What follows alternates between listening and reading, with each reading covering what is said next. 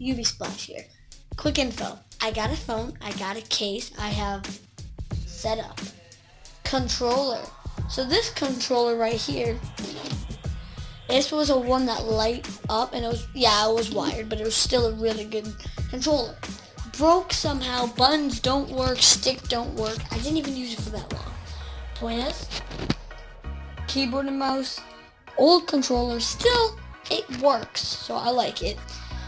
Just quick update, I'm gonna be recording videos more now. I got something better. What the heck was that?